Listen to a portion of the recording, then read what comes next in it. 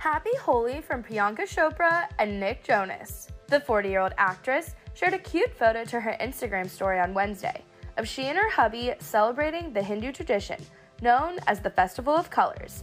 And she wrote over the photo, Happy Holi to all celebrating. As you can tell, we take it very seriously, ending with a laughing face emoji. This isn't the first time the couple have celebrated Holi at their home.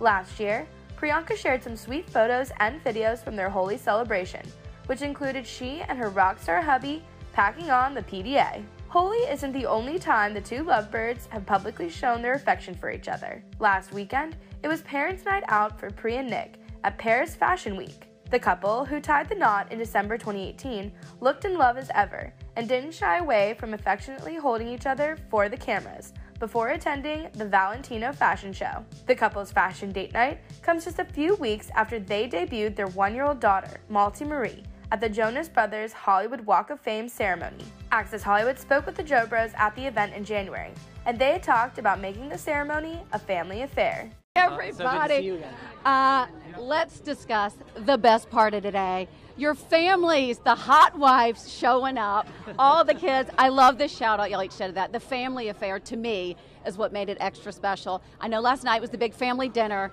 What happens tonight to celebrate?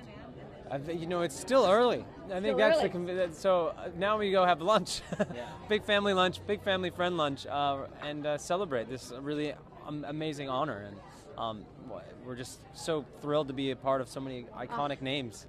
And uh, Nick having the youngest Malti out here. Does she win a star best baby on the planet? She was super chill the whole time. I was very impressed. Um, it was really wonderful to have to have her and my wife out, and my mother-in-law was here too, in addition to uh, our parents. Yeah, it was, it was definitely a family affair. It kind of felt like a wedding or something. Um, the, the rehearsal dinner last night and the ceremony today, but it's it's been uh, pretty pretty special.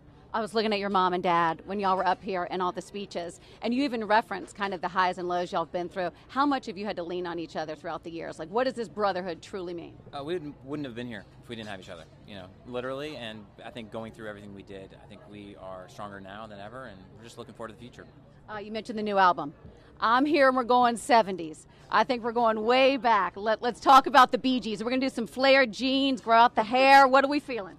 You know, it's, it's I will say it's a departure from anything we've ever done before. Um, so we can't really say it sounds like this or it's influenced by this artist because I, I don't really know what people will take away. But um, we're really proud of this body Wings, of work. baby. I'm ready.